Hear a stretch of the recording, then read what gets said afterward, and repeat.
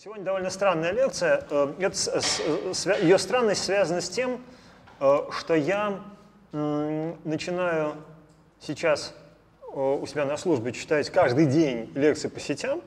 Вот.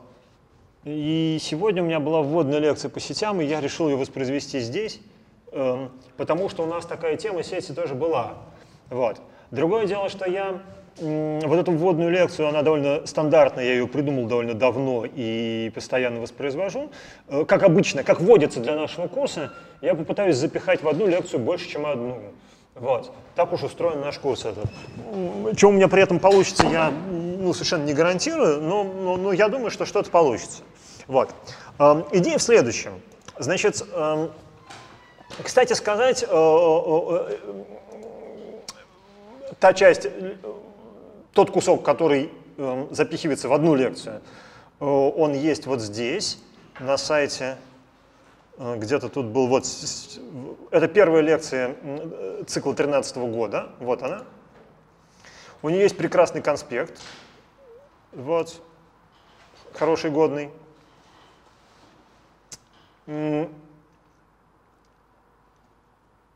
Можно заглянуть туда, вот. А можно попробовать заняться сегодняшней лекцией. Значит, да, плана у нас пока нету, но это дело наживное, мы все сделаем. Э, идея в следующем. Когда говорят про сети, особенно в современном мире, почему-то э, часто случается так, что даже весьма продвинутые там люди, которые работают системными администраторами несколько лет. Э, по факту имеют какие-то совершенно легендарные представления о том, что такое сеть. Вот. То есть э, ты у него спрашиваешь про сеть, а он мне отвечает про, как, про введение в домен, папочки, еще что-то вот в этом духе. Вот. А, значит, эм, папочки. Соответственно, это означает, что с одной стороны, вот вся эта наша линуксовая деятельность, э, э, как ни странно, если мы не занимаемся там вот, ну или не линуксовая, там, сисадминская, если мы не занимаемся конкретно сетевым администрированием, нас, в общем, немножко отгораживает от, этих, от этой проблематики. А с другой стороны, ну, например, человек, который э, администрирует сети э, в ЦИСК, с помощью ЦИСКи, да, он э, э, в основном заточен на воспроизведение каких-то цисковских э, последовательности действий, не всегда понимающий, что он там делает, потому что у ЦИСКа довольно терминология странная, несмотря на то, что они вроде как ведущие в этом плане. Вот.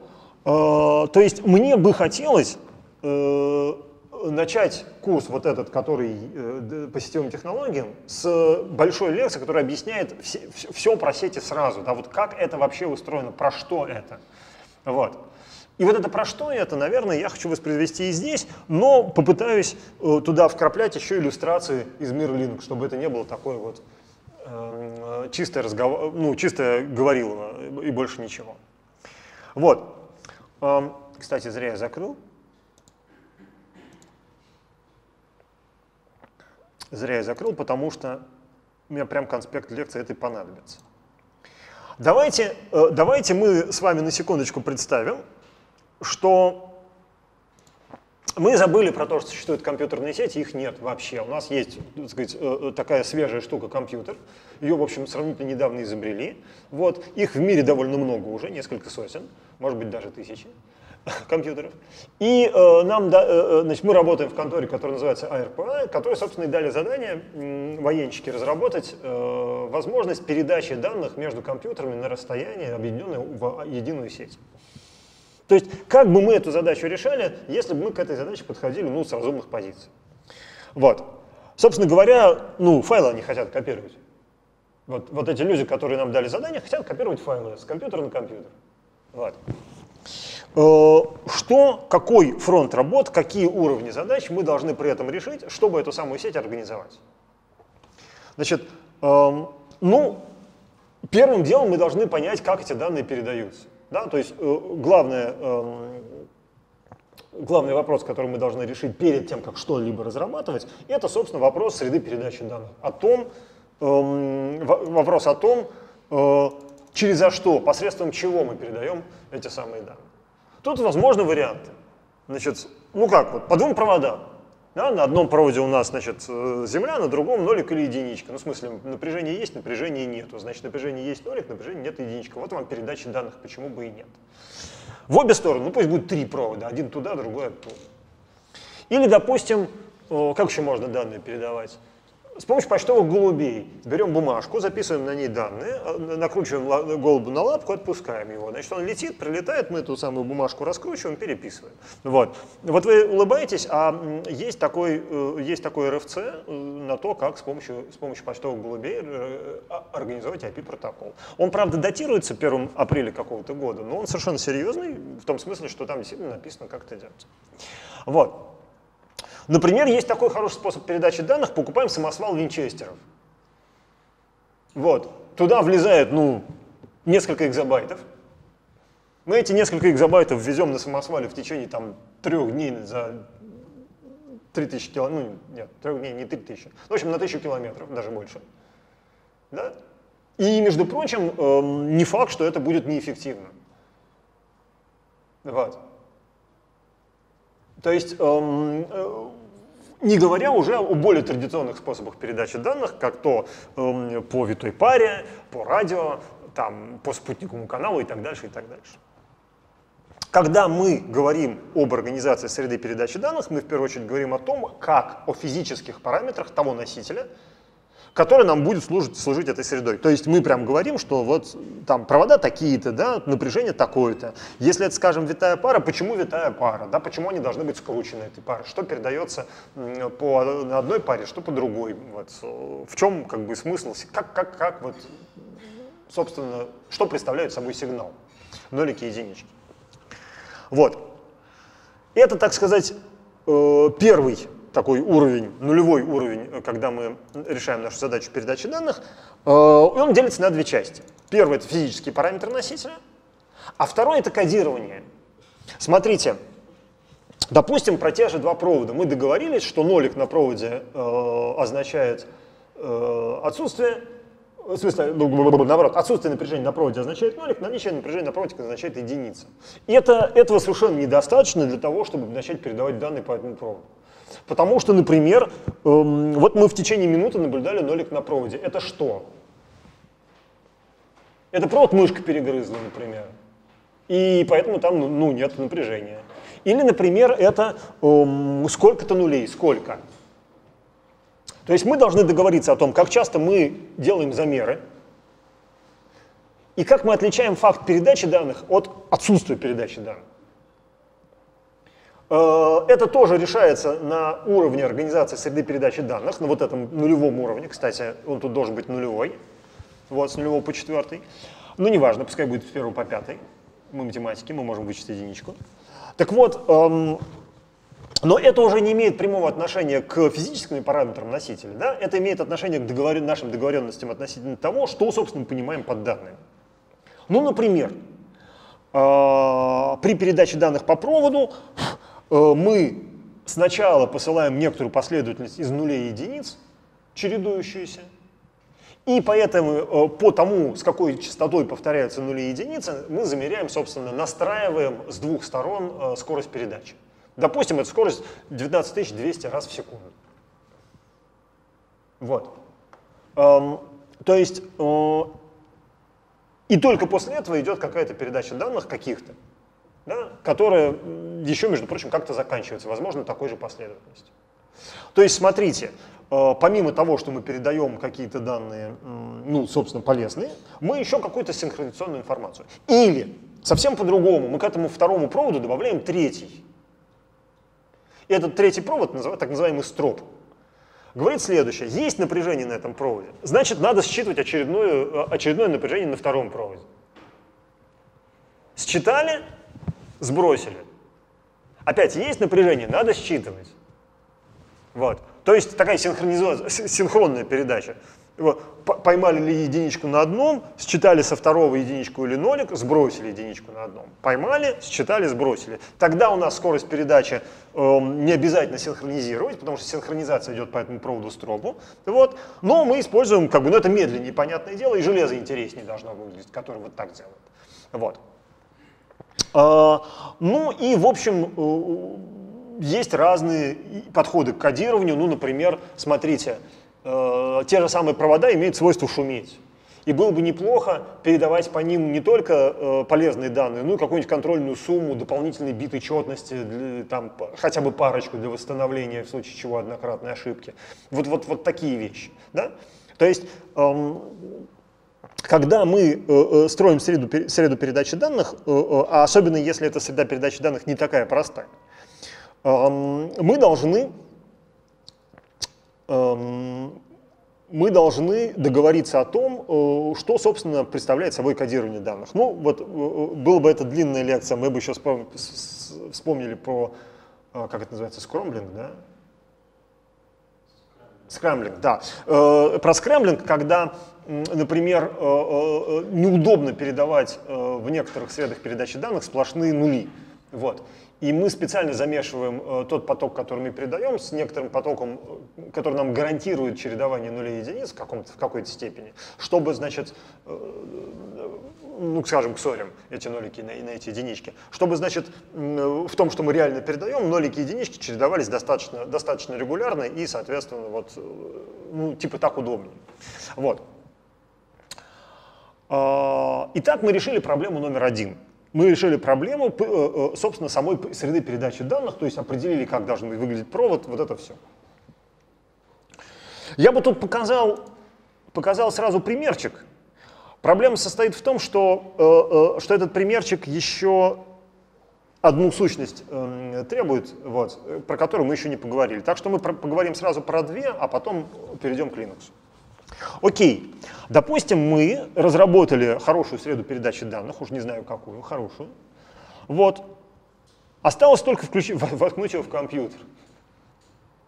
И тут возникает э, на уровне подключения э, нашего устройства сетевого к среде передачи данных, возникает опять две проблемы, как обычно. А, первое. Это, собственно, как эти данные от компьютера к компьютеру передавать. Потому что вот мы договорились там про нолики и единички, а, собственно, вот, вот сам, сам протокол, да, вот один компьютер хочет начать передачу данных. Что он для этого делает? Второй не хочет их принимать, но ему надо. Как он узнает о том, что ему надо? Вот такого рода вопросы надо решить э, э, э, вместе с эм, какими-то дополнительными вещами. Про дополнительные вещи чуть позже скажу. Если просто два компьютера воткнуты проводами, даже это должно быть как ну вот, мы должны договориться о том, как инициировать эту передачу. Да? Либо они постоянно считают, что вот, эм, все, что не приедет из этих проводов, это какие-то данные ценные. Либо же мы должны договориться о том, э, как отличить состояние «хочу передавать» от состояния «не хочу передавать». Например, еще один провод ввести на аппаратном уровне, через который будет вот это хотение передаваться. А вот я сейчас тебе буду передавать. Вот. Такое тоже возможно, да? но наш интерфейс э, э, должен это поддерживать. Э, если, например, у нас среда передачи данных позволяет подключать более, одно, более двух абонентов к сети, нашей, к нашей среде передачи данных, тогда еще возникает вопрос, а как их друг от друга отличать? Ну, допустим, никак. Допустим, все передают всем. Или, допустим, вот в эти данные включается какой-то специальный ну, идентификатор, номер, нашего абонента в нашей среде, да, внутренней, э, и когда мы передаем данные именно ему, мы все их э, э, сопровождаем еще вот этим, этим идентификатором. В общем, эм, процесс передачи данных — это такая, ну, не самая простая штука, сильно завязанная на низкий уровень, сейчас мы это увидим. Вот. Но и это еще не все. Потому что э, э, тот факт, что мы научились э, как-то, ну, мы рассказали алгоритм, по которому один абонент может передать э, данные другому, еще не означает, что все абоненты могут пользоваться этой средой передачи данных, э, э, ну, скажем так, одновременно. Например, мы должны принять решение, видимо, на этом уровне, а может быть и раньше – у нас сеть будет с коммутацией каналов или сеть с коммутацией пакетов? Поясняю. Что такое сеть с коммутацией каналов? Это когда у нас, например, в такие старые телефонные станции, помните, такие с шаговым искателем в кино показывают? Вот у нас есть 20 э, абонентов, И 4 канала. И там тоже 20 абонентов. И вот один абонент звонит другому. Ну, да. Он что делает? Он звонит другому. Ему э, телефонная станция выдает канал один из четырех. Дальше она подключается к второму абоненту, тот берет трубку, и в течение всего сеанса связи они пользуются вот этим одним каналом, разговаривают, передают какие хотят данные, вплоть до того, что передают голос, совершенно такой аналоговый. Вот. А, значит, когда звонит второй, в смысле третий, четвертому, он опять-таки получает в аренду целый канал, а вот когда звонит там, ну, не знаю, десятый, на него уже каналов не хватает, потому что все четыре канала заняли первые восемь. И у него там идет сигнал занято просто потому, что ему каналов не хватило. Сеть с коммутацией каналов может быть перегружена по, по объему каналов, по количеству каналов. Вот. Зато по этому каналу, который получает два абонента в полное, полное свое пользование, можно передавать какие хочешь и сколько хочешь данных, ну, естественно, да. Понятное дело, что такая штука удобна, когда у нас ну, там, голосовая связь или что-то такое, и неудобно, когда у нас э, э, связь цифровая, то есть у нас много разных данных передается одновременно, разнотипных, из разных мест в разные, и мы хотим как-то это все замешивать. Поэтому, э, скорее всего, мы примем решение, что для передачи данных у нас будет использоваться сеть с коммутацией пакетов. А сеть с коммутацией пакетов — это особь статья. Это значит, что те данные, которые мы хотим передавать, мы заранее готовы к тому, что они будут нарезаны на части и переданы по частям. Да? Собственно, части называются пакетами. А это, в свою очередь, означает, что да, уже при организации процесса передачи данных мы должны приписать к э, передаваемому пакету, ну, как минимум, как минимум какую-то информацию, э, относящуюся, того, что это, относящуюся к тому, что это за пакет. Да? То есть вот когда два э, абонента в сети с коммутацией каналов арендовали себе канал, каждый абонент знает, с кем он разговаривает. Когда два абонента в сети с коммутацией пакетов посылают друг другу данные, они должны на пакете написать, кому, от кого и кому. Ну, потому что у нас может быть э, в нашей, в нашей среде передачи данных более двух абонентов. Значит, должна быть какая-то проблема, э, решена проблема внутренней идентификации. Э, то же самое относится к дисциплине, дисциплине использования. Если у нас э, сеть, грубо говоря, сеть с коммутацией пакетов, то там, вообще говоря, канал ровно один.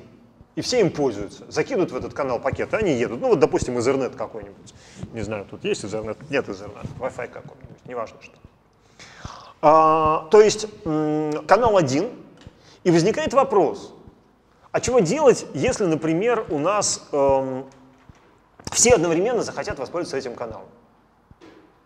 Ну, ответов очень много, да, значит, можно так задизайнить, что пускай все одновременно пользуются. Вот. Э, можно так задизайнить, что, допустим, когда хотя бы два одновременно попытаются что-то передать, они видят, что в результате на, на, на нашей среде передачи данных происходит шум из-за того, что они вдвоем начали. Каждый идет, ждет случайное время и начинает в разное время. А, можно к этому еще привесить э, такое требование, что они сначала смотрят, не занят ли канал, не идет ли передача. Если передача идет, они ждут случайное время. А если передача не идет, они начинают.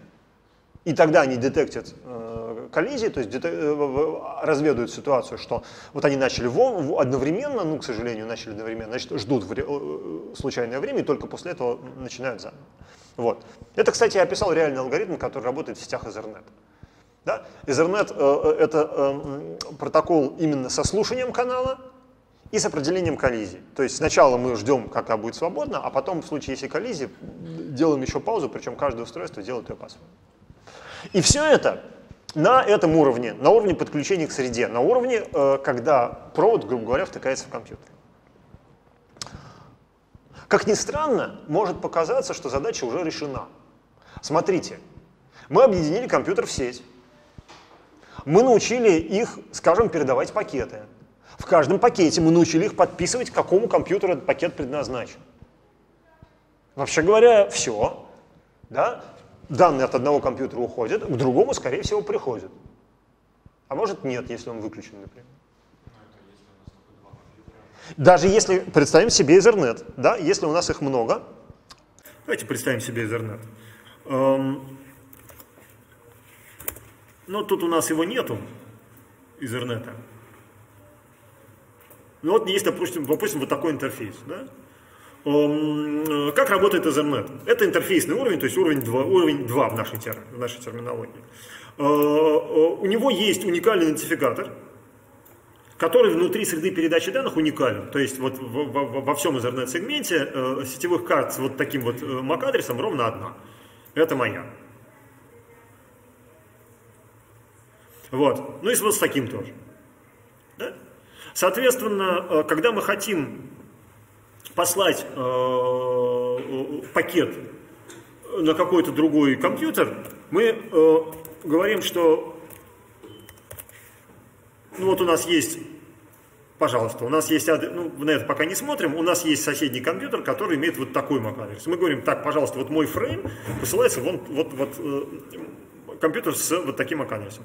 При этом эм, среда устроена таким образом, что на самом деле любое устройство сетевое, которое видит пакет с таким MAC-адресом, его видит. Просто на аппаратном уровне оно его фильтрует. Если это не мой MAC-адрес, то мне не нужно на него смотреть. А, соответственно, железяка, в которой этот адрес э, ее, этот пакет забирает и начинает смотреть ему внутрь. Вот.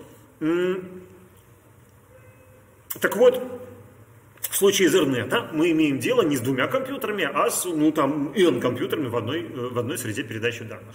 Они отличают друг от друга, вот, вот друг друга отличают по MAC-адресу.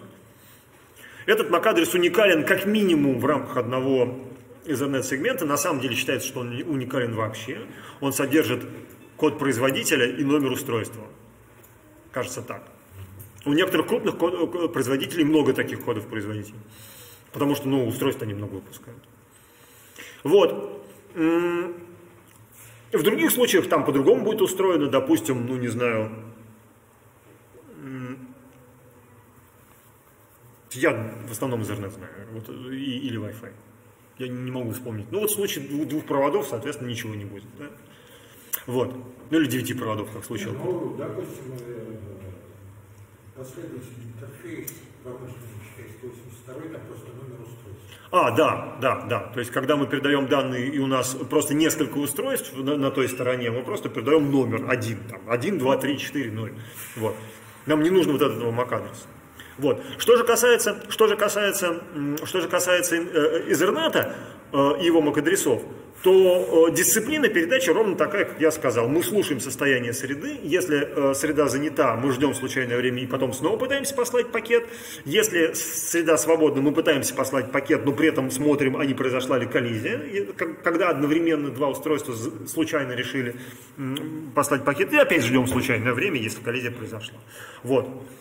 Э, так вот, я вам скажу так, что некоторые сетевые протоколы старые, ну, например, сети Windows или сети Navel Network, были основаны ровно на этом.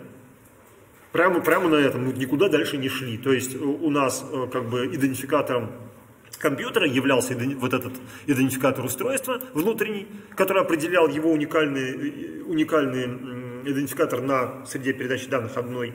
И между компьютерами вот так вот э, происходил обмен.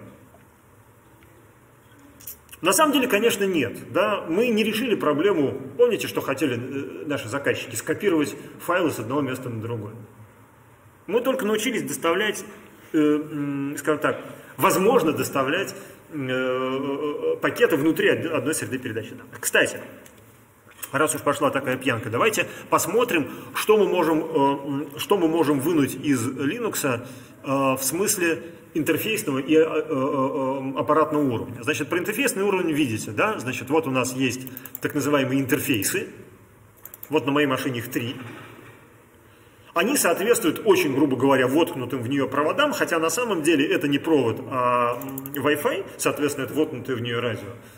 Вот. Это провод, только он не воткнут, вот. А это вообще э, сетевой интерфейс, который всегда существует на любом компьютере, так называемый loopback, он же заглушка, который э, смотрит в наш собственный компьютер. То есть все, что мы туда отправляем, оттуда немедленно приходит. Очень удобно для того, чтобы, например, установить сетевое соединение с самим собой. Даже в отсутствии какой бы то ни было сети. Вот.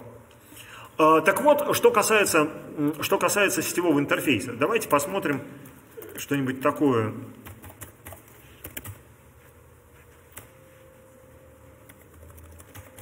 А, это надо, это надо рутом заходить, хорошо.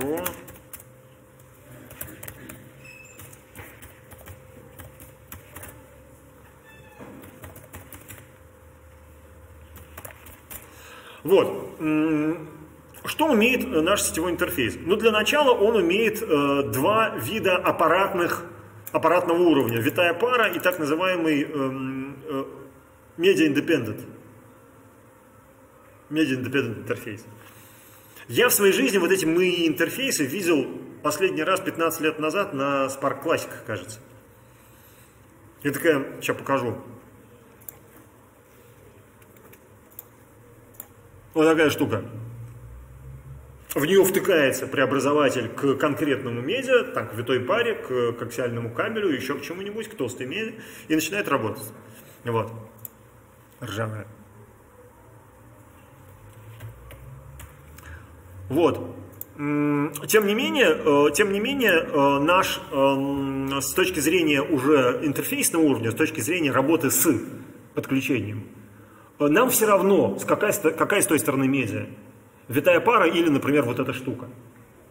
Вот. И это очень важно, об этом мы будем чуть дальше говорить, у, у уровней должны быть независимы. Вот. В принципе, туда можно, как видите, воткнуть 10-мегабитный кабель, 100-мегабитный кабель и гигабитный кабель разных видов. Вот.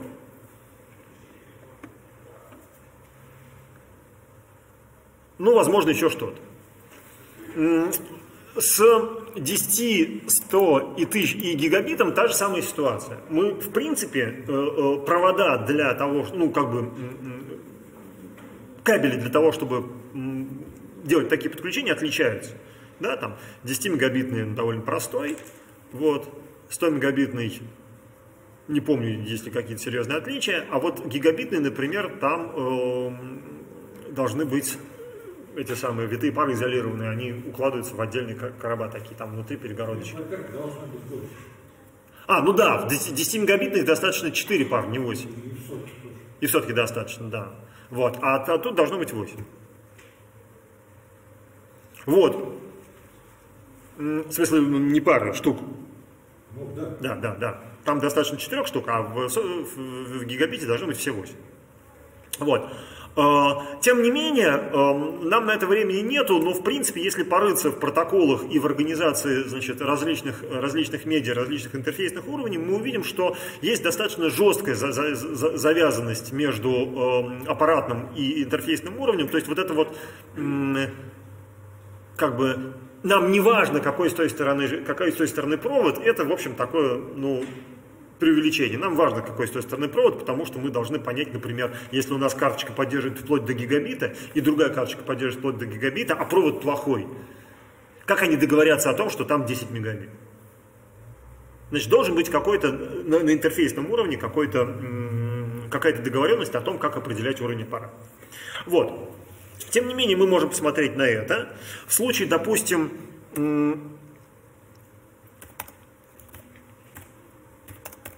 допустим, э, в случае Wi-Fi мы можем заглянуть в устройство, которое называется FI0. Это эм, как раз низкого уровня физическая составляющая Wi-Fi канала. И он нам много чего расскажет про то, что нам умеет, э, про то, что умеет этот самый канал. Вот. Например, он расскажет про то, какие шифры поддерживаются, э, э, про то, на интерфейсном, правда, уровне, да, про то, какие диапазоны, а, какая, какая скорость поддерживается, какие диапазоны частот. Вот. И еще много всякой интересной информации. Вот. Да, это надо почитать документацию, я сейчас наизусть все не помню. Э, То есть, с одной стороны, нам опять-таки рассказывают про то, что там с радио творится, да, то есть какой, что там с Wi-Fi непосредственно на аппаратном уровне. А с другой стороны, нам, видите, рассказывают довольно много всяких штук про то, что наш интерфейс умеет. Ну, с Wi-Fi там довольно все сложно. Там нужно уметь шифровать, там нужно уметь менять этот шифр по ходу, там нужно эм, взаимодействовать с, э, с операционной системой, которая вам будет подсовывать новые, новые, новые все время эти шифры, чтобы, значит, эм, они не протухали и их нельзя было разломать, ну и так дальше, и так дальше. Вот.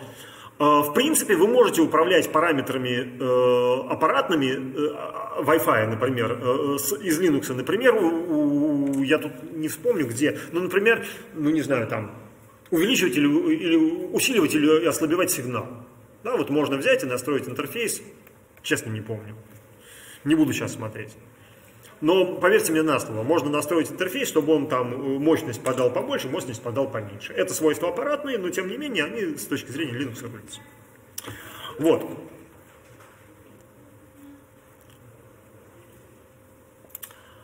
А почему, собственно, почему, собственно, мы не останавливаемся на этом? Да, мы научились вроде бы передавать данные от... Э, мы научились вроде передавать данные от компьютера к компьютеру, но ничего хорошего из этого не произошло, потому что наша задача была, собственно, не такой. Наша задача была, а, копировать файлы, ну ладно, мы сейчас с этим подождем, и, б, между двумя компьютерами, которые, в принципе, не обязательно подключены к одной среде передачи данных.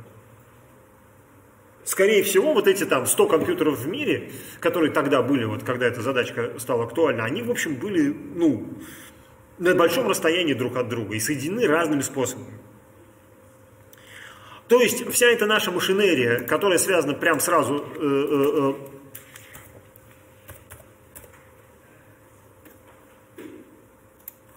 э, вот, э, вся эта наша машинерия, которая завязана исключительно на э, конкретный Ethernet, будет работать только в одной конкретной среде передачи данных в Ethernet. А если они разные, эм, тут становится, возникает сразу несколько проблем. Ну, например, проблема фрагментации, но она такая, ну, чисто техническая. Смотрите, у нас есть такая штука, как МТУ. Вот в нашу среду передачи данных влезает только полторы тысячи, они это называют октетами, они называют это байтами. В то время, когда они их изобретали, байты еще были 7-битные или 6.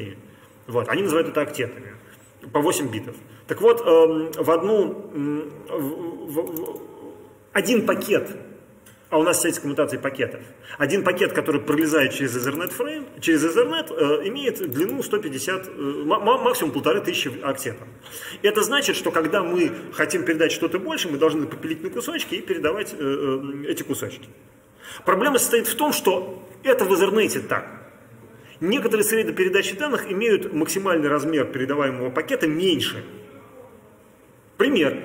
Если у вас поверх Ethernet накручено еще что-то, какой-нибудь PPPoE, это значит, что у вас будет Ethernet фрейм, в котором часть места будет занимать дополнительная информация, а часть места полезной нагрузкой. Тут будет, ну, какой-то такой, такой способ организации VPN часто всего бывает. Да? Вот здесь вот вместо 1500 пишется 1400 сколько-то там. Вот. Ну, бог с ней с проблемой фрагментации. Главная проблема в другом.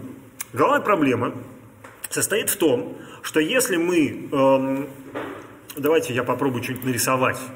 Так неожиданно.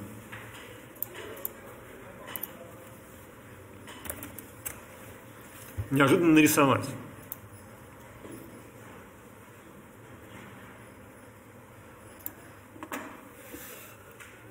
Вот у нас есть, боже мой,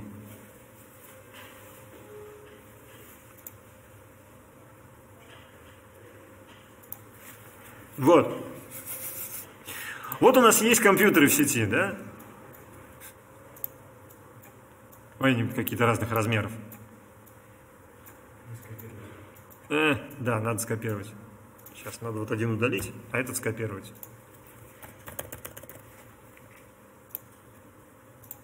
Вот. И эм, вот эти три, например, объединены в какую-то сеть. Да? Вот у них есть там коммутатор какой-нибудь, вот. И они объединены в сеть. Тынц. Ой, берем эту стрелочку. Нет, не такую. Извините. Вот, они объединены в сеть, да? Раз. Раз. Раз. И это у нас локальная среда передачи данных какая-то.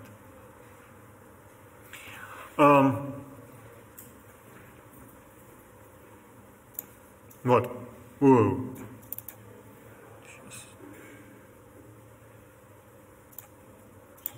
Вот. Да? Локальная среда передачи данных. А, дальше, вообще говоря, у нас э, вот э, наш, наш интернет устроен таким образом, что вот эта штука и это объединены в э, сеть. Да? Вот, вот, вот, вот так. Ну, эй. Вот так. Да? И это еще одна локальная среда передачи данных. Сейчас. Плохо. Ладно. Ну, в общем, вы меня поняли. Вот эти два. Дальше э, э, наша картина устроена так, что вот эти объединены в одну сеть. Вот. Э, допустим, там еще один маршрутизатор какой-то, да? И, наконец, вот так. И у нас здесь на картинке три разных среды передачи данных. Э, одна, вот эта вот вторая, вот это вот третья, вот это даже четыре, нет, три, да? Вот это вот э, вторая, вот это третья. Вот сейчас третью, обна... Э, третью нарисую. Где тут? Нет. Вот, да?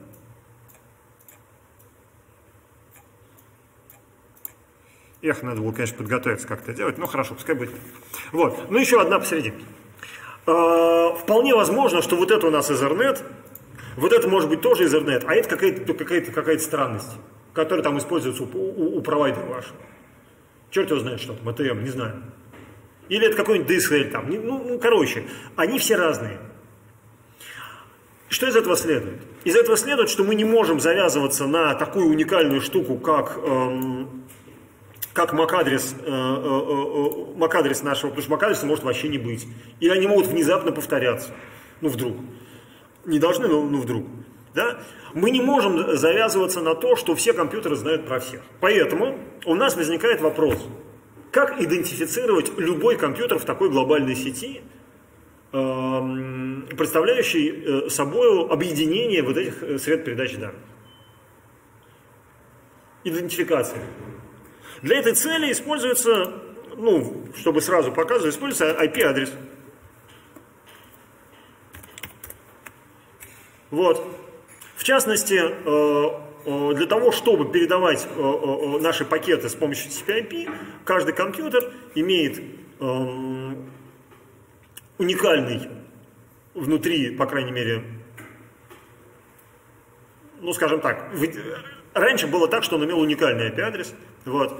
Э, почему он не уникальный, мы будем... Нет, наверное, придется поговорить сегодня, сейчас поговорим. Вот. Э, давайте сначала начнем с того, что каждый компьютер имеет уникальный IP-адрес. Э, никто на свете не знает всех адресов всех компьютеров. Раньше так было. Вот когда их было 100, на каждом компьютере было записано, какой IP-адрес у какого компьютера. Понятное дело, что сейчас в каждую секунду эта картина меняется, да, там где-то включают, где-то выключают, где-то меняют, где-то еще что-то. Вот. А, и эм, не будем сейчас пока говорить про то, что вот этот IP-адрес слегка не уникальный, э, да, будем считать его уникальным. И в результате получится следующая картина, э, что вместо того, чтобы э, как-то завязываться на среды передачи данных, мы будем рассчитывать на то, что у всех компьютеров в мире есть IP-адрес, и что мы, когда передаем данные, мы передаем данные от компьютера с таким-то IP-адресом на компьютер с таким-то IP-адресом. Это первая проблема, которую, может, которую нам нужно решить при объединении сред передачи данных, у, у глобальной идентификации. Вторая проблема состоит в том, что мы теперь не знаем, куда посылать эти данные. Мы не знаем, где находится вот этот компьютер. Допустим, мы хотим послать от этого компьютера.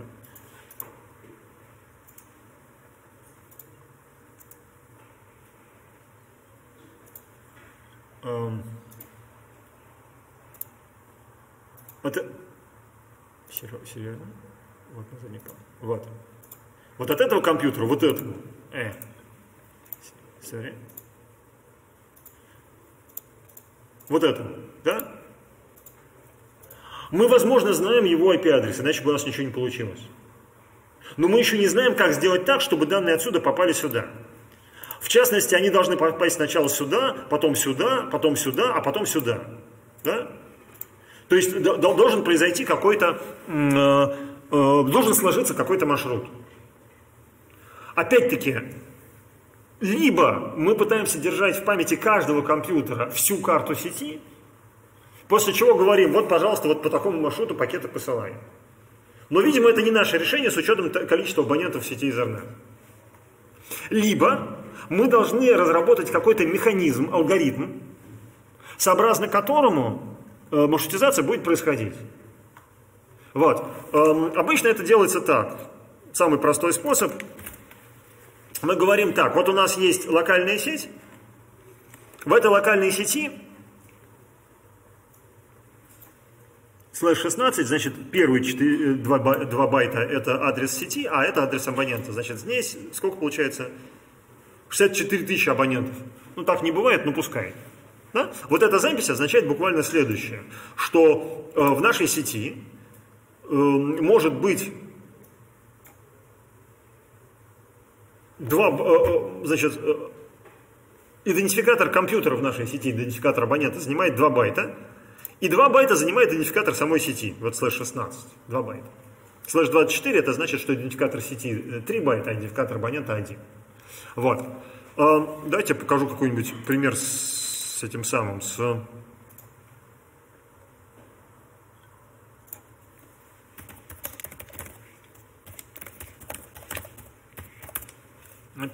Ой, а как ты он так сделал?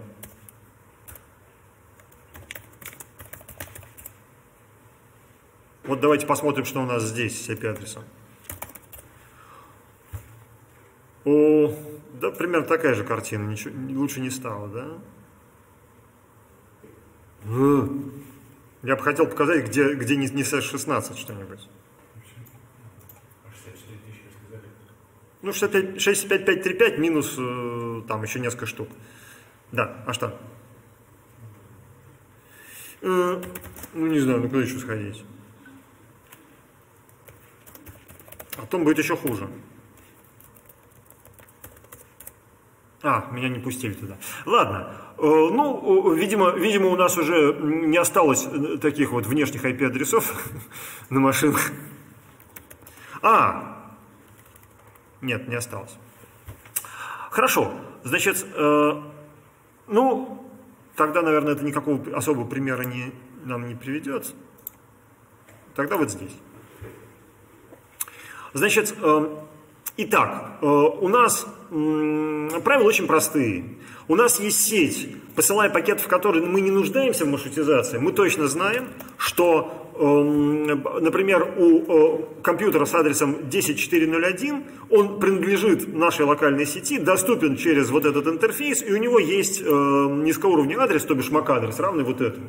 Если наша задача послать э, данные вот на этот компьютер, он находится в нашей локальной сети, и от него есть, от него есть, от него есть этот MAC-адрес.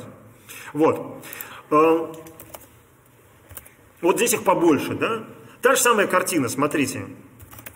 Поскольку у нас э, э, здесь сеть тоже слэш 16, то есть вот это адрес сети, а этот адрес абонента в сети, то мы, по идее, должны знать, э, должны знать MAC-адреса всех абонентов, которые есть на этом, э, э, которые в этой сети есть. И действительно, вот у нас есть 10301 с таким MAC-адресом и 103.128.4 с таким MAC-адресом. Еще 10.328.16 с таким MAC-адресом. Все эти абоненты принадлежат одной и той же локальной сети в силу вот этого. Да? У них у всех 10-3 адрес сети. И это значит, что мы должны знать их э, MAC-адреса, чтобы послать им э, пакет. Если же мы не знаем, то вступает э, в силу вторая проблема, проблема маршрутизации. Э, э, в самом простом случае она решается так. Мы говорим, а, ну это все, вот, вот, например. Это понятно, что такое. Поскольку мы находимся в сети 10.3, то все пакеты для 10.3 просто вылезают, вылезают через интерфейс ETH0, и там где-то находят своего, своего хозяина. Они все должны быть доступны по MAC адресу. Если мы посылаем пакет в адрес сети 10.6.7, слэш 24. То есть вот это адрес сети, а здесь вот э, э от 0 до 254 адрес абонента. То тогда маршрутизатором для такого, такой сети нам будет служить машина с вот таким IP-адресом, и пакеты нужно пересылать через нее. Это даже более сложный случай. В случае, допустим, вот э, того Wi-Fi, который мы тут настроили, ничего кроме э, маршрутизатора по умолчанию не существует. Так вот, а если мы не знаем, куда пересылать, то есть если это не в локалке, и нету специальной записи, через кого пересылать пакеты, принадлежащие вот этой сети, то есть э, запись вида, вида дефолт. в которой на самом деле написано 0000, э, в смысле 0000 слэш кажется 0. То есть адрес, адреса сети нету, а вот это такая глобальная сеть, через которую мы все пересылаем. Кто, кто, кто пересылает пакеты, когда у нас э, в таблице маршрутизации не найдено других записей? Какой-то маршрутизатор по умолчанию, вот он. Э, иногда бывает такой таблицы маршрутизации недостаточно, и в силу вступают всякие хитрые соображения, там того-то пересылать через того-то, того-то через всего-то, но, как правило, как правило, это правило работает, да, значит, можно запись типа хост-хост, вот по такому адресу пересылать через такой-то хост, запись типа сеть-хост, по всем адресам из этой сети да, напоминаю, 24 означает 3 байта адрес сети и 1 байт адрес компьютера в сети. По всем адресам из этой сети пересылать через вот этот хост, а по всем остальным адресам пересылать через вот этот хост. Таким образом, мы решаем задачу э, организации маршрута следующим образом. На каждом устройстве, которое должно пересылать э, данные дальше, принимается решение, в какое место их пересылать. Сюда или сюда. Да? Здесь сюда или сюда, через какой интерфейс, и есть ли за этим интерфейсом э, наш абонент-получатель, или же получателя нету, а есть только следующий маршрутизатор, который будет пересылать наши данные дальше. Сюда, сюда сюда. Можем, например, э, например, можем посмотреть с помощью утилиты traceroute минус n ну, допустим, через какие IP-адреса э, проходил пакет до, до сайта, ну, допустим, www.ru. Ни до какие, он, он лежит. Хорошо. А, я знаю, наш Wi-Fi не пускает. Хорошо. О, очень, вот смотрите. Только минус n давайте, чтобы он нам доменные имена тут не городил. Бумс. Вот смотрите, www.ru э, у нас имеет адрес вот такой. Значит, первый маршрутизатор на нашем пути встретился с таким адресом, потом с таким, потом с таким, потом с таким. Вот гулял-то, гулял, гулял, гулял, гулял, и в конце концов добрался. Добрался до конца. Вот. Самое интересное, что утилита TraceRoute не может так просто взять маршрут. Знаете, что она делает? Она посылает эм, сообщение пакет вот по этому адресу. Выставляя в этот пакет э, специальное поле time to live равно единице. Зачем в пакете, э, в IP-пакете поле time to live? Чтобы они циклом не ходили. То есть, а то вы пошлете пакет, и он будет бегать случайно по кругу, пока все не забьет. Соответственно, когда происходит маршрутизация, когда вот это устройство перекладывает пакет отсюда пришедший вот сюда, оно уменьшает время жизни этого пакета на единицу. Утилита рисует работает так. Она посылает э, вот этому хосту, выделенному, э, пакет с time to live равный 1. Следующий же маршрутизатор говорит, слушайте, не получилось доставить, а пакет уже протух. И возвращает, э, возвращает наш утилит traceroute соответствующее сообщение о том, что ну, вот такое произошло. Утилита рисует О, значит, первый хоп у нас был 188, 44, 41, потому что он нам вернул, эм, э, э, нам вернул э, сообщение о том, что пакет не доставлен. Давайте теперь пошлем пакет с time to lead равным 2. Он пройдет через это, но зато следующий хоп нам скажет, что все, пакет протух, давайте, значит.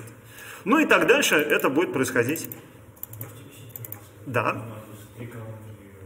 Э, он их три посылает. Он их просто посылает три на всякий случай.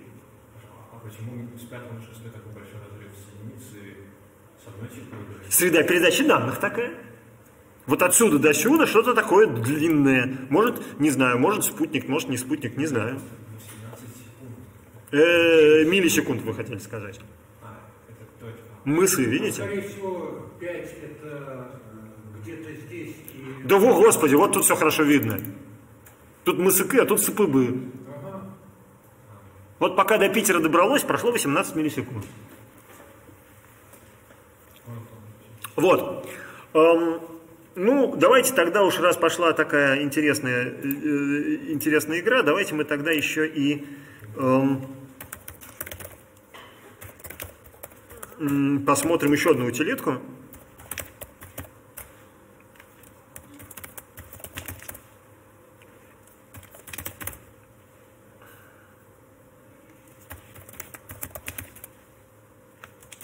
Да что ж такое? Отстань от меня, противно. Который называется TCP-дамп. Так, какой мы, вот этаж 0, да? Э,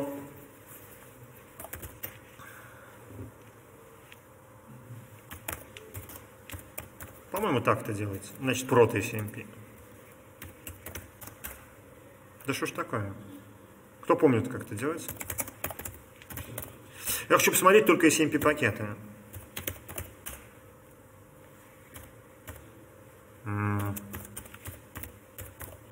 Да. Да что, ж ты будешь делать? Стирали. Да это я случайно не то нажал.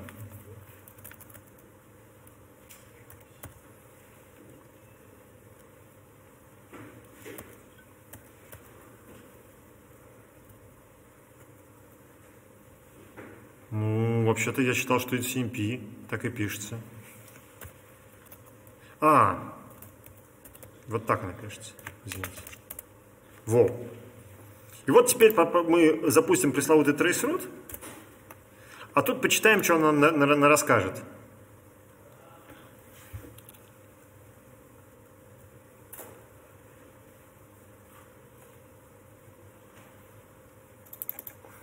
Он, видите, их по три пакета посылает, да? Вот он, а, сейчас, дайте чуть, чуть минус V. И еще разок. О, В?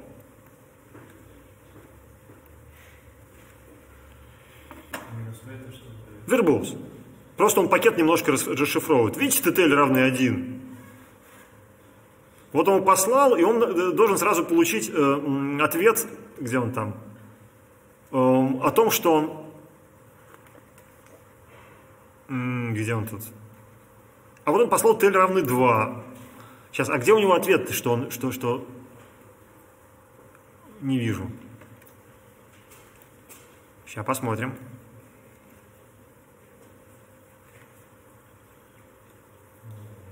Ну вот они эти ответы, да?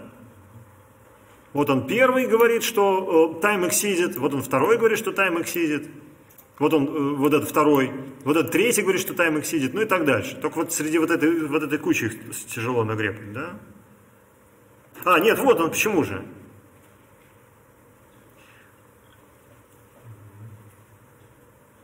Ну вот мы послали, он говорит, все, просрочен, TTL1. Вот там написано теперь 254. Да, Где, где, где? ну, 300 вот это, да. Это в раскрытом пакете. Это обратный пакет? Да, да, да, это обратный пакет. Он должен до нас дойти же. А тот, который мы посылали, имел TTL1. Сейчас. эм.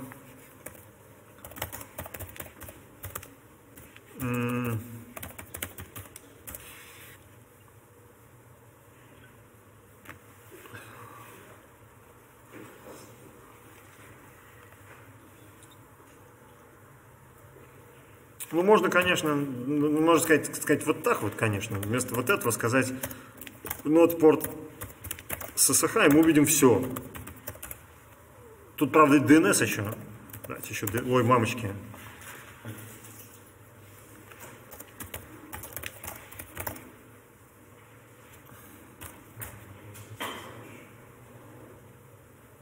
Нет, все равно много.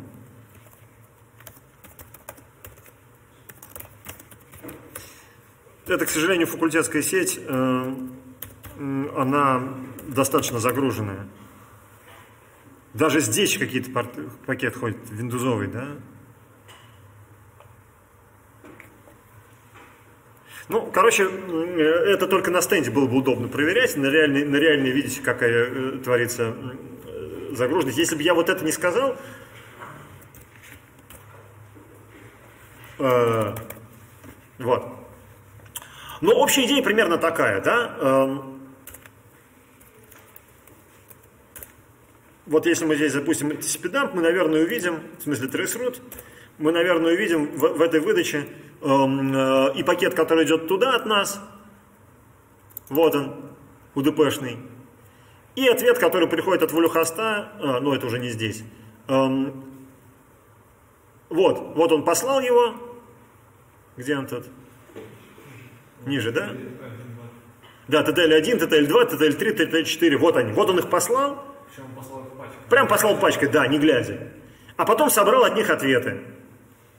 Вот он их послал, с TTL1 три пакета, с TTL2 три пакета, с TTL3 три пакета, с TTL4, с TTL5, с TTL6. А потом они начали приходить ответы.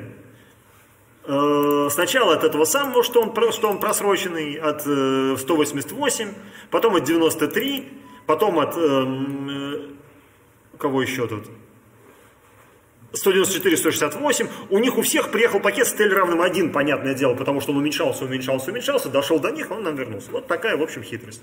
И а Валюхост говорит, ага, извините, а Валюхост говорит, эм, не буду вам, не буду вам вообще отвечать на ваши, на ваши трейсруты, ничего. Такой он злой. Поэтому здесь вот нам э, трейсрут сказал вот такую штуку. Не отвечает нам больше. Ну вот, на самом деле это еще не все проблемы, которые нужно решать на уровне, на уровне маршрутизации. Потому что нам еще нужно обеспечить связность нашей сети. Предположим, у нас есть еще один маршрут, он более длинный, более длинный какой-то. Там используется какой-то старый компьютер для этого и еще чего-то. Но зато э,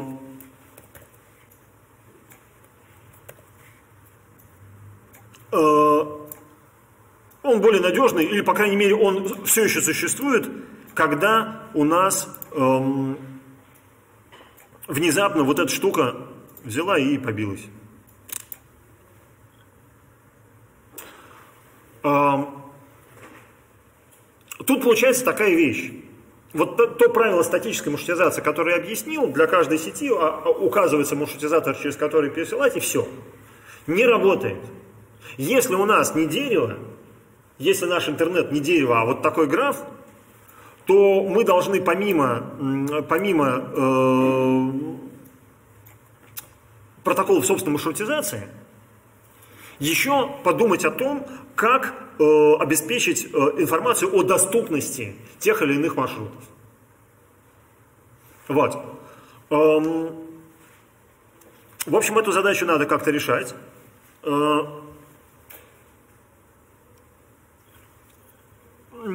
это тоже задача, которая должна решаться на уровне сетевом, да, э, и на уровне, на уровне построения маршрутов. У нас две задачи, собственно, идентификация и маршрутизация. Вот. И она, э, допустим, в, э, в интернетах решается таким способом. Эм, Вот такие штуки, Обычно это больше, чем одна локальная сеть. Обычно это несколько ло- локальных сетей. Объявляются так называемыми автономными системами, АЭС. Все автономные системы пронумерованы и зарегистрированы. И существует специальный протокол, ну, самый известный БГП, Border Gateway протокол, который эм, э, как раз предназначен для обеспечения карты связанности между автономными системами. Автономных систем не очень много, их несколько тысяч, кажется, боюсь соврать. И, соответственно, э, никому из вот таких локальных маршрутизаторов не нужно ничего знать про, про Border Gateway.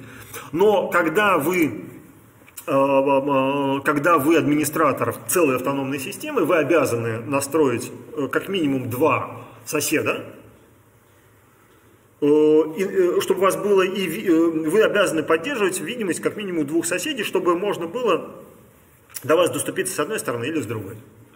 Да. А?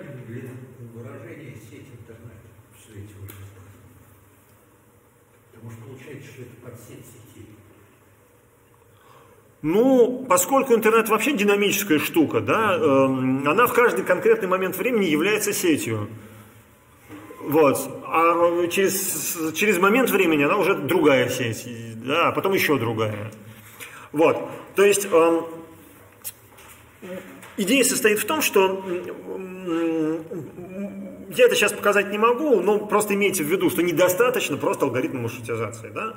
Еще должны быть какие-то штуки, которые принимают решение пускать, пускать пакет вот сюда, Вот сюда на самом деле. Или вот сюда. И это уже никак не решается без э, как, как, как, какого-то взаимообмена э, информации о том, что доступно, а что недоступно. Вот. Э, следующая картина – это потоки данных. Э, потоки данных э, – это вот что такое. Смотрите, э, вот этой нашей э, маршрутизации мы обеспечили только возможность возможность того, что пакет дойдет. Один. Вспоминаем нашу исходную задачу. Нам нужно взять файл, напилить его на кусочки, и эти кусочки разослать. Внимание, вопрос. Нам важно или не важно, в каком порядке эти кусочки придут? Важно. Или не важно, если, например, файл в один кусочек помещается. Вам важно или не важно, чтобы кусочки пришли все? Но опять-таки важно, если это, ну, если надо восстанавливать файл из кусочков. И, например, не важно, если, например, у нас эм, э, миллионы абонентов, которые смотрят видео. У какого-то там абонента случился какой-то глюк, вот чего точно не нужно знать серверу, это то, что у абонента случился глюк. Потому что если у миллиона абонентов случится глюк, сервер загнется, обрабатывая эти глюки. Вот. А, значит, а, нам важно или не важно, что абонент вообще существует что те данные, которые мы передаем, он принимает. Опять-таки, иногда важно, иногда нет. Это проблема, которая решается на транспортном уровне. Первая проблема – это, собственно, организация потоков данных, внутри которых нужно проверять цельность, что они не побились там, что контрольную сумму, что они подряд идут, э, и надежность, что, э, что, например, только когда абонент ответил, что он соответствующий пакет получил, мы знаем, что он соответствующий пакет получил. Вот. Это первый как бы уровень, под уровень этого самого управления потоками данных. И так работает, например, протокол TCP. Вот если посмотреть, э, как устроен TCP-IP, я не знаю, успею я это сделать или нет, ну давайте попробуем.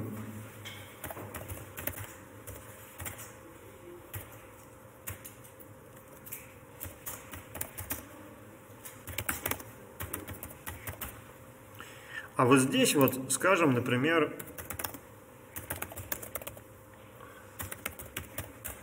жмяк. Вот смотрите, эм, один, одно скачивание HTML-страницы по протоколу HTTP э, превратилось вот в такой поток данных, двусторонний, TCP двусторонний поток. И что мы делаем? Мы сначала устанавливаем подключение вот в ту сторону. Говорим, SYN, подключаем вот этот флаг «с» означает, что э, устанавливается подключение. Что делает другая сторона? Отвечает нам и устанавливает подключение с нами. В ответ тоже син. И еще, еще немножко. Мы говорим, а, ну тогда давай, поехала. Ак. Подтверждаем. Значит, э, да, значит, вру, син, это значит, оно устанавливает подключение с нами, ак, это значит, э, подтверждает вот это подключение, acknowledge. Мы говорим, ак, хорошо. Мы же говорим, ну теперь давай payload. Еще давай payload. Получил. Еще давай payload. Получил.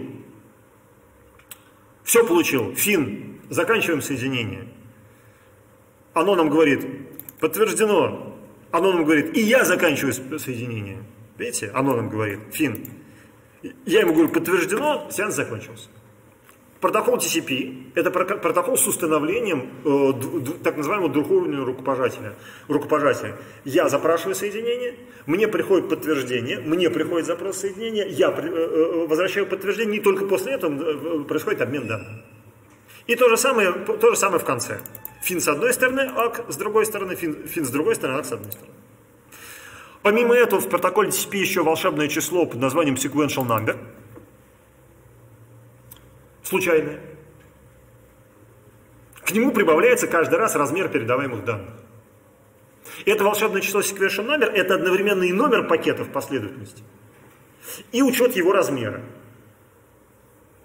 Нам приезжает следующий пакет – если у него размер плюс предыдущих sequential number не совпадает, значит мы какой-то пакет пропустили. Вот. Или, если он не подряд идет, значит, они пришли не подряд, надо пересобирать. Э, К сожалению, у нас опять нет времени на то, чтобы разговаривать про то, как работает TCP, он довольно волшебный. Вот. Но вот, э, вот эта штука, еще раз повторяю, она увеличивается на вот это число, на размер пакета каждый раз, э, когда происходит обмен. Соответственно, таким образом это одновременно и номер, и контроль целостности. Вот. Э, Помимо этого, в TCP/IP стандартом есть еще протокол UDP, который без всего этого. UDP это user датаграмма протокол. То есть, когда нету ни установления подключения, ни последовательности, ничего, мы отсылаем пакет на деревню дедушки, и он на деревню дедушки приезжает. Очень удобно, например, когда у нас э, очень маленький обмен трафика, например, DNS-запрос очень удобно делать по, по- по UDP. Вот. А вот эм, вторая часть управления потоков данных, э, управление потоками данных, она э, вот для чего служит. Хорошо, мы научились, мы научились э, складывать данные в поток. Внимание, вопрос. Вот я, допустим, ну не знаю, смотрю HTML-страничку, там 10 картинок на одном и том же сайте. С точки зрения потоков данных, это 10 потоков данных с одного сайта на другой, одинаковых. Почему они в дороге там не перемешиваются? Ну, это как в том анекдоте, когда люди продавали это самое, полвагона повидла и полвагона секундных стрелок. Очень дешево. Ну, потому что в дороге они перемешались все. Вот. Эм, значит, э, то есть, когда мы э, организуем наш поток данных, мы еще должны отличать один от другого. Кстати, sequential number для этого тоже нужен. Да? Видите, они разные. Совсем. Вот. Если бы там было два, было бы два разных. И значит, э, когда пакет принадлежит одному потоку данных, у него одна вот эта последовательность, другому другая, и так они различаются. Вот. Что еще важнее, это э, э, строчка управления. Управление это вот что такое. Представим себе, что у нас с одной стороны хороший годный интернет, гигабитный интерфейс, мощный компьютер, который умеет заливать данные со скоростью, ну не знаю, 10 мегабайтов в секунду. Потом там какой-то, значит, какой-то трейсрут, чего-то там такое, значит, одно, другое, третье, Москва, Питер. И с той стороны компьютер, который, в общем, на очень дохлом канале сидит, какой-нибудь DSL, 160 килобит, вот это все. Внимание, вопрос, если мы будем наливать в интернет 10 мегабайтов в секунду, а, а- а- абонент наш получает со, сло- со скоростью 160 килобит в секунду, куда все остальные мегабайты денутся? Что-то там такое произойдет нехорошее, да. Соответственно, можно делать что? Можно э, говорить, что давайте нам э, наш абонент будет говорить, когда он подтвердил получение, тогда мы только посылаем. С другой стороны, можно как-то управлять шириной этого канала. Да? То есть мы начинаем наливать, потом раз, закончили и ждем, пока значит, нам придут ответы. Ответы начали приходить, мы говорим, ага, есть еще место, значит, э, э, значит наш абонент может еще получать, продолжаем наливать. Такое окошко. Вот мы послали пакетов пачку, несколько, нам начали приходить подтверждения, что вот что, что пакеты приняты, мы, ага. Снова начали приходить подтверждения, мы снова, ага, ну вот такое. Да? Вот. Это называется sliding window протокол, и он нужен в TCP для того, чтобы определять, насколько хороший канал, насколько много можно посылать сразу, не ожидая того, что где-то пакеты там потеряются. Да. Здесь дело не только в канале. Канал может быть хороший, пропускная способность, просто принимающее устройство может быть загрузка чем Правильно, правильно. Я как раз хотел сказать, что есть ровно второй вариант, спасибо, Михаил, что э, дело не в канале, а в самом устройстве. Там какой-нибудь дохлый телефончик. Он просто не может обрабатывать столько пакетов в секунду, сколько мы пытаемся в него впихнуть. Вот. Может, он сам по себе загружен настолько. Да нет, на нем запустили расчетную задачу. Ну, я и говорю, не может. Не может. Он не может так быстро обрабатывать эти данные. Вот. То есть идея состоит в том, чтобы с одной стороны сделать эту передачу все-таки синхронной, чтобы получатель как-то сообщал а- отправителю, сколько он принял. А с другой стороны, чтобы не, не- не делать его абсолютно синхронной. Пакет дошел сюда, пакет дошел обратно, пакет дошел сюда, пакет дошел. Вот эти все миллисекунды будут накапливаться. Да, нужно что-то среднее. Вот э, эм, это все и есть э, э, протокол управления э, вернее, договоренность об управлении каналом, собственно, мы переходим к концу, да. Я вспоминаю замечательную линию, когда с одной стороны широкий спутник, а с другой телефон э, 2400 бит в секунду. Вот. Эм, Значит, собственно, мы почти до- до- дошли до конца.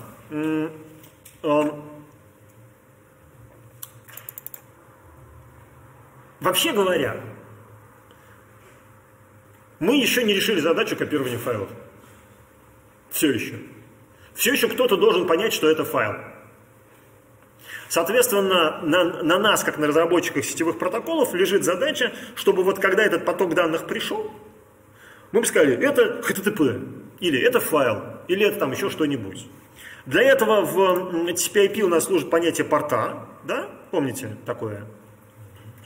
Вот.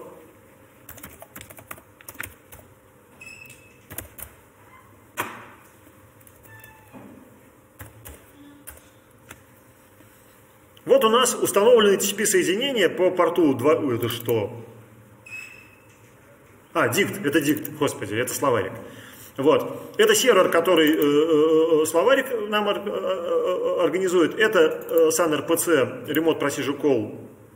В Linux он используется для, в основном для сетевой файловой системы. Это HTTP сервер, который сидит у нас на 80-м порту. Это Security Shell сервер, который сидит на 22-м порту. Короче говоря, когда на уровне, при- на уровне транспортном вы устанавливаете подключение, транспортном, на предыдущем, вы указываете в качестве абонента отправителя, абонента получателя еще так называемый проток- э, порт. Откуда куда.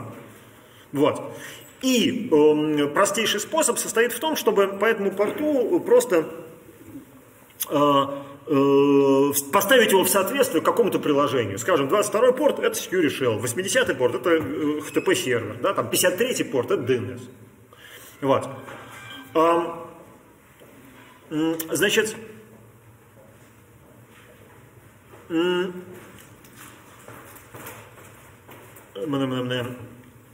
порт. Каких-то более сложных вещей, наверное, делать никто не будет. Потому что, ну, нет, ну, как бы есть такие штуки, ну, например, поднять Security Shell э, сервер на 443 порту, чтобы, значит, всякие страшные фаерволы его не фаерволили. Corkscrew называется этот демон, кстати. Вот. Но, в принципе, нам, наверное, достаточно. Для того, чтобы организовать канал связи, нам нужен адрес отправителя, порт отправителя, адрес получателя, порт получателя, кстати, порт получателя. Давайте посмотрим. Тут где-то был TCP-дамп. А? А вот. Да, а они на разных портах, смотрите. У нас всегда есть порт отправителя. Видите? TCP-соединение да, состоит из четырех, то есть уникальный идентификатор TCP-соединения состоит из четырех частей. Адрес отправителя, порт отправителя, адрес получателя, порт получателя. И вот этот адрес отправителя каждый раз разный. Собственно, в этом фишка э, того, что это сеанс другой. Вот. В общем, мы должны, э, должны определить какие-то правила, как э, наши потоки данных доезжают, собственно, до приложений, которых используют. Ну и на самом деле, хотя это точно уже не наше дело, на самом деле часть прик- прикладных протоколов тоже имеют отношение к сети. Например, DNS. То есть с точки зрения э, стека протоколов TCP/IP, DNS это прикладной протокол. Прям прикладной-прикладной. С точки зрения функционирования всего этого безобразия, он, конечно, э, ну, мы, конечно, обязаны его поддерживать. Какой-нибудь DNS-сервер. Ну да. Вот еще один пример, да, Dynamic Host Configure DHCP, тоже с, точки зрения стека протоколов прикладной протокол, но мы как э, м, там си- системные сетевые администраторы должны его поддерживать. Вот. То есть эм, понятное дело, что разговаривать про все в мире прикладные протоколы смысла не имеет, их, их 100-500 миллионов. Вот. Но некоторые из них действительно важны. Вот. Примерно так. Значит,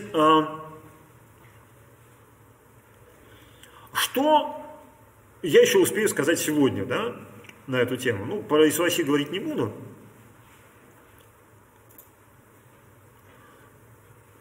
Давайте, что ли,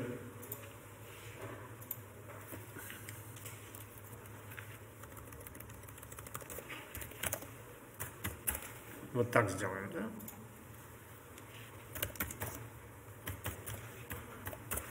Дыдыч. Вот у нас как выглядит, я здесь вот спросил про ВВРУ, он, кстати, спросил и про IP-адрес, и про IPv6 адрес, и еще заодно, кто почту для него получает. И вот э, как выглядело все это, э, как выглядело все это с точки зрения э, сетевого трафика. Мы послали, это что было, датаграмма? Не разберешь, надо было минус v сказать. Дубль 2.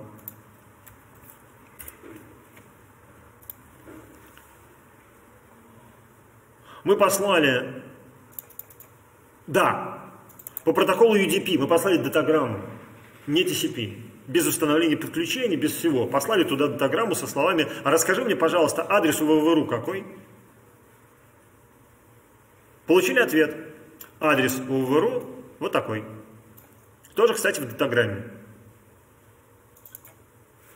Как мы узнали, что это был ответ на наш запрос? Вот я думаю, что по какому-нибудь идентификатору. Да? Не вижу.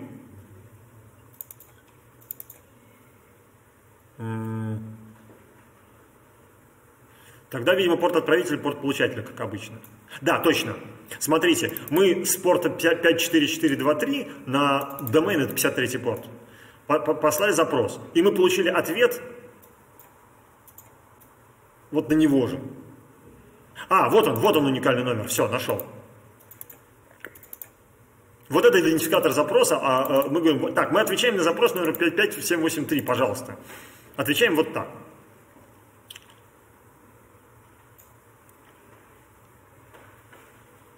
Дальше он спросил, а расскажите мне, пожалуйста, ПТР, а вот у такого, у 10301 вообще, это, это, это наверное, мы у кого-то другого спросили, это, не, не, это чужой трафик.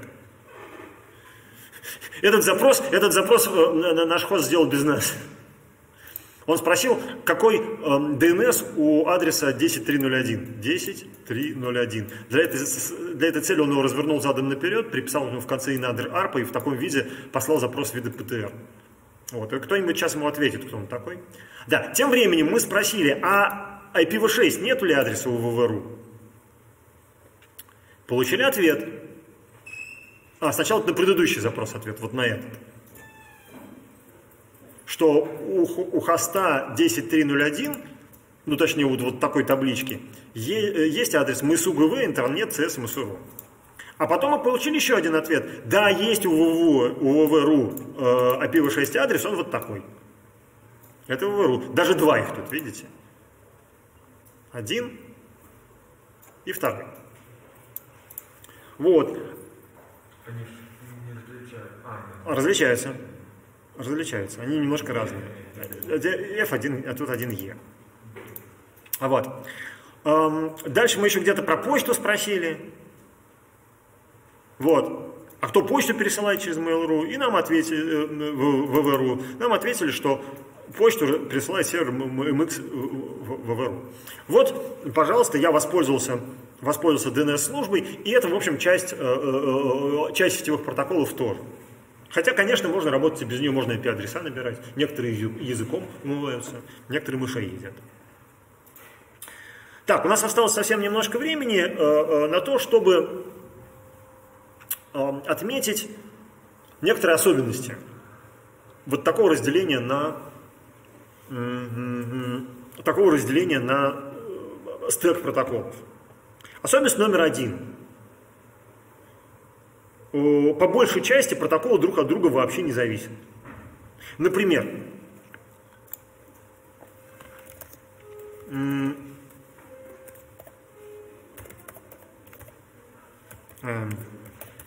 а, это не здесь. Ну хорошо, ETA Вот, а, здесь, видите, только Twisted Pair. А вот э, на этой машинке у нас Еташтул сказал, что он э, умеет...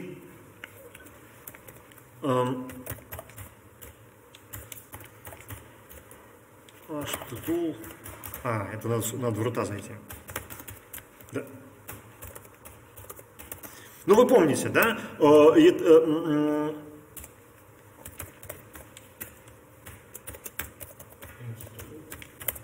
он, он, э, он рассказывал, что наш, наша карточка умеет поддерживать и э, витую пару, и вот это МИИ и И. Да-да-да, Media Independent Interface. И вообще говоря, вот, и вообще говоря, ему все равно, какие там с той стороны провода. Я уже говорил, что именно на аппаратном уровне это не совсем так, вот. А, Но чем выше, тем это очевиднее. Например, вы можете написать программу, которая обрабатывает, э, которая обрабатывает э, трафик прикладного уровня, просто читая этот трафик со стандартного ввода и выводя его на стандартный вывод.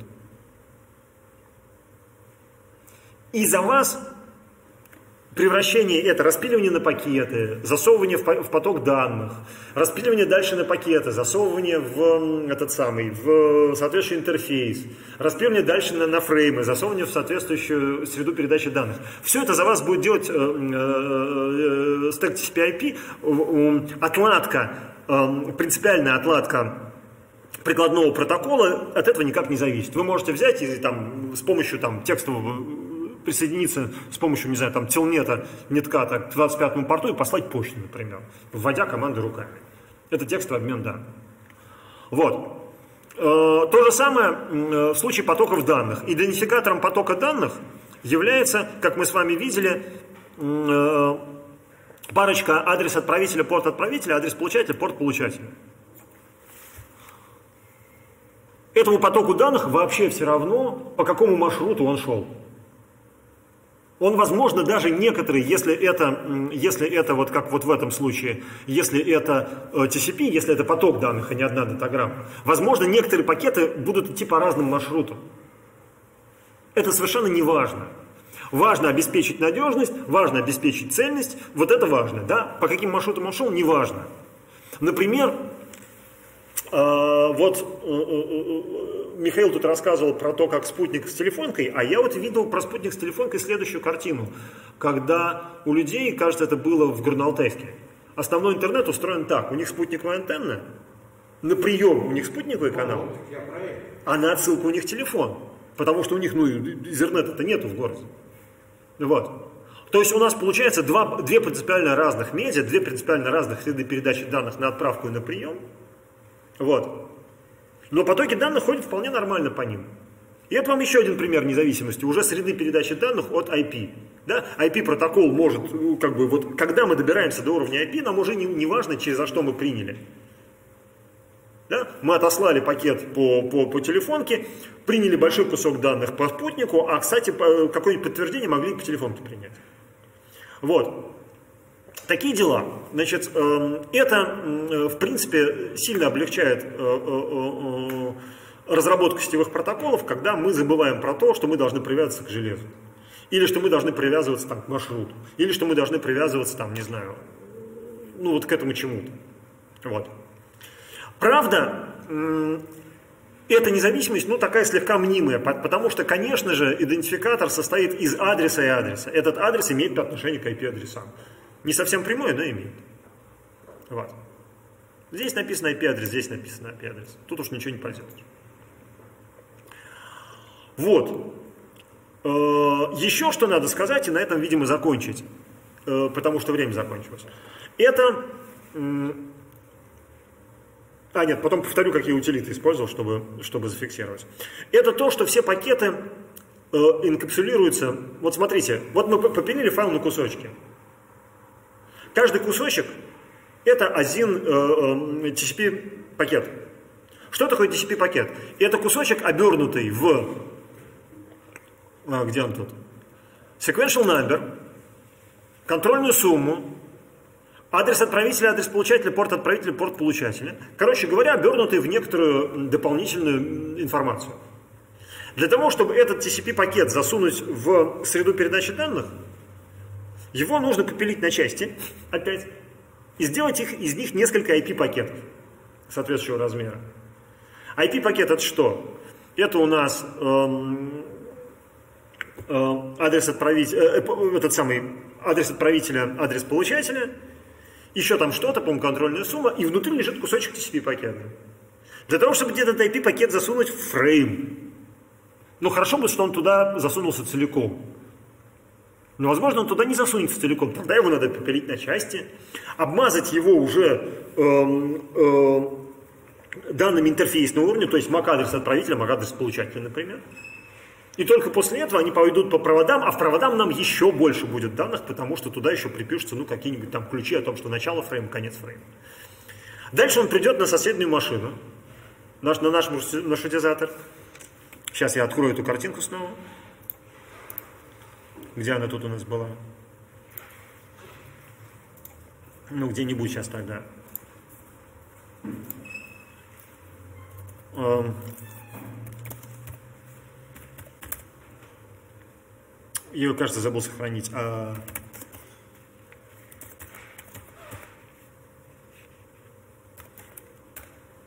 Ой.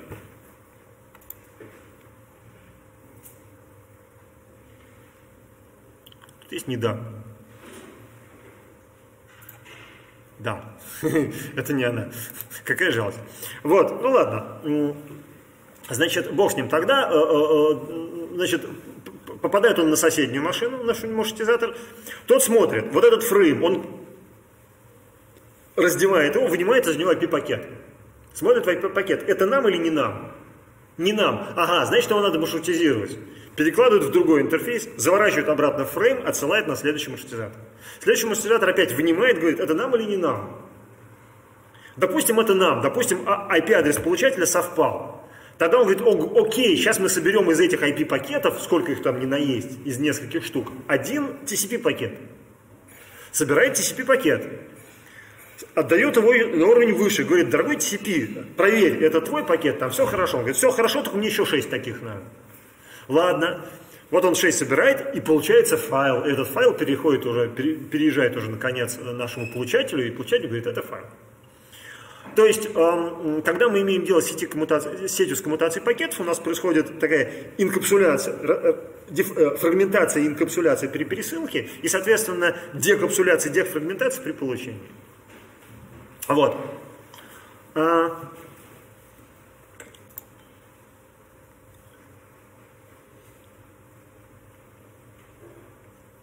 Ну вот, это я уже говорил, я уже говорил. Ну, что еще можно рассказать такое за, за одну минуту? А, да, я обещал пример утилит.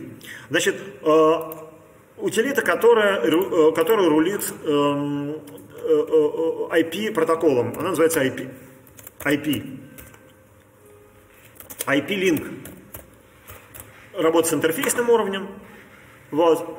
В частности, просто посмотреть вот так. Вы можете, кстати, поменять даже кое-чего.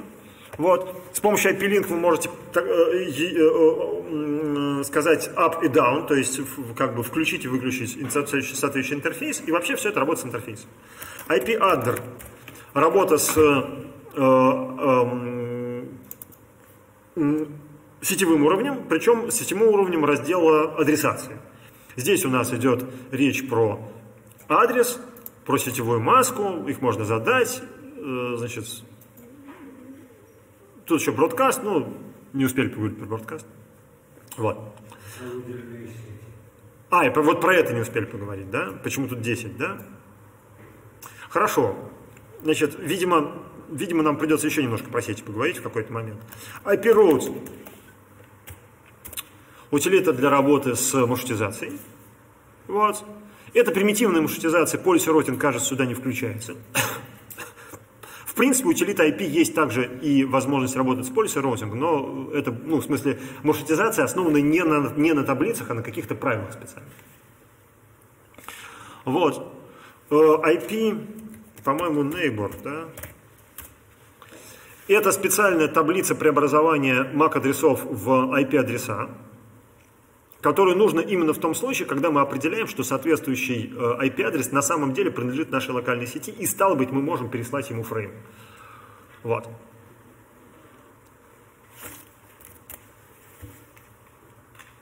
Ну, как видите, тут гораздо больше всего интересного. Помимо того, что я сказал.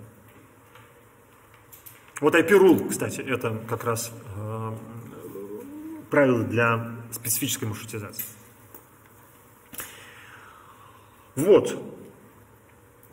Э, чтобы закончить свой разговор, скажу так. В Linux-дистрибутивах настройка интерфейсов, маршрутизации, DNS э, делается этими самыми утилитами, но, э, как правило, обмазаны довольно большим количеством дополнительного всего, чтобы просто было удобнее. Из таких самых популярных э, средств конфигурации, наверное, назову Network Manager. Вот. Э, вот какая-нибудь вот такая штука, скорее всего, это Applet Network Manager. Ну вот, например, утилита NMCLI показывает нам, э, какие есть подключения. По сети ETH0 есть подключение, которое называется Default 10.3 с вот такими параметрами. Это типа аналог IP-конфиг? Нет, смотрите, IP-конфиг э, э, это вот, это, собственно, вот это. Да? Вот он. Вот. Это э, более высокоуровневая штука. Она ведает подключением к. Это вот, вот, вот то, что вы здесь вот видите, когда вы говорите вот такое. Да? Это, собственно, оно же. Когда вы говорите, у меня есть подключение под названием там VMK Wi-Fi Free. Где оно тут, кстати? А, это не здесь, потому что это другая машина. Давайте вот здесь сделаем, да? NMCL. О!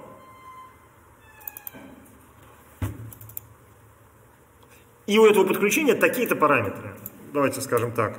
nm cli con con list, по-моему, так пишется. Нет, просто con. Вот, например, э, мой Network Manager знает эм, следующие подключения. VMK Wi-Fi Free, VMK Wi-Fi, вот с таким названием ETH0, MVF и Redmi. И к каждому из них я, видимо, когда-то подключался. В данный момент я подключен к подключению, которое я назвал Wi-Fi Free, и оно находится за э, интерфейсом в LAN 0. Это более высокоуровневый утилит, который предназначен для пользователя, для того, чтобы можно было нажать кнопочку и подключиться к чему-нибудь, например, к MK Wi-Fi. Вот. Или еще к чему-нибудь такому. Или, например, автоматически подключить Ethernet к э, шнурку, который вот здесь. Вот.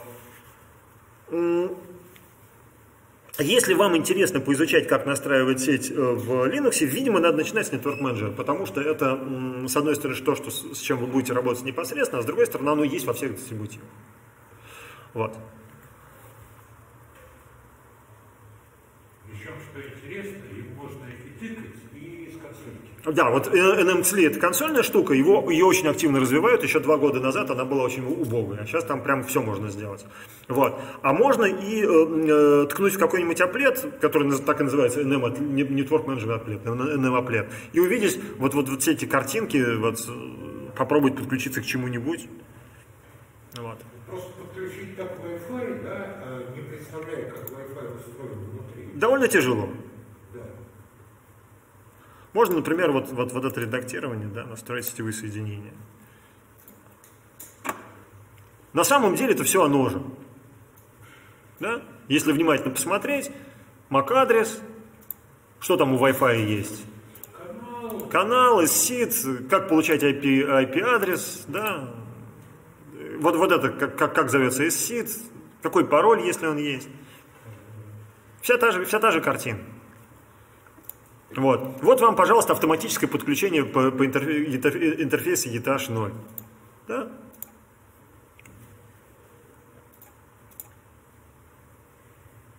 Ну, в общем, опять же, все автоматическое.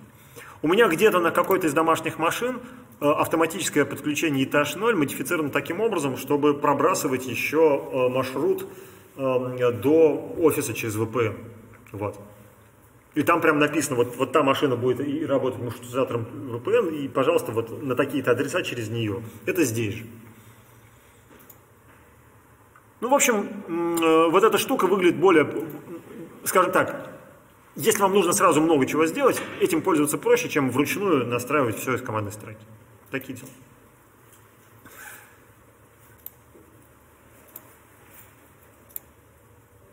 О, надо было не так сделать. Давайте я отключу, подключу отсюда, и на этом мы закончим. Да? Вот смотрите, у нас сейчас все отключено. Ой, у нас есть connection, который называется VMK Wi-Fi Free. Мы говорим nmsli, con, con up, вот это самое. Все. Вот он.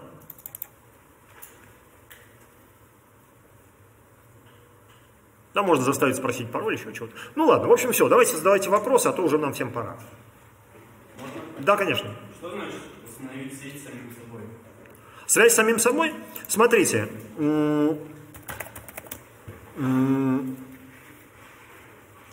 Прекрасная утилита э, 127.001. Что я сказал 127.001. Вот этот адрес, видите? 127.001.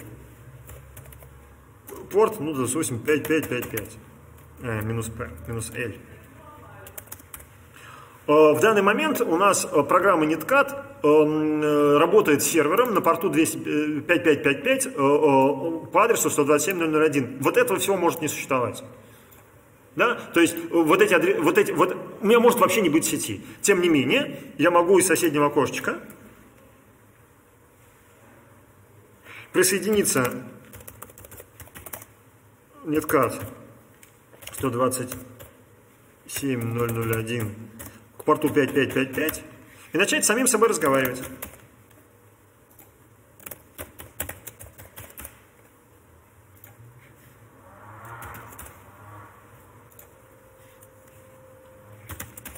Вот. Ну, кто первый закончит, тот и, тот и закончил. При этом мне вообще не нужно наличие какой бы то ни было работающей сети. Я могу сетевой интерфейс вообще опустить. У меня есть тут root где-нибудь?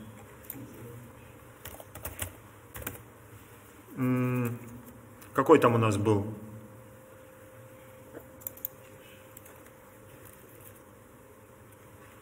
Calm down. Вот, смотрите. Да? У меня вообще нет никакой сети сейчас работающей. И тем не менее, вот это вот э, э, порт, э, в смысле адрес 127.01 у меня есть. И, соответственно, работать с ним я всегда могу. Я ответил на вопрос? Да. А что значит маска под э, Маска под сети делит адрес, ну, скажем, вот у нас, м, дайте мы сейчас включим его, Э, делит IP-адрес на две части. Адрес сети и адрес абонента в сети. Если она назначается не супер, как вы слышали, а, допустим, там, стандартная маска для там, не знаю, локальной сети, стоит 98 например, и у него маска под сети там 255, 255, 255, 255, 0. Ну так э, там, где единички, это и есть те самые биты. Посчитайте количество этих битов, получите то же самое. 255 это сколько битов?